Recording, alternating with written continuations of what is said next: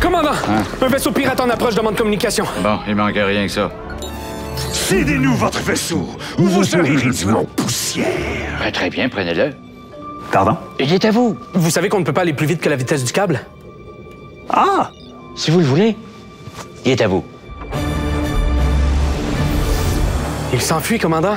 Même gratis, il en veulent pas.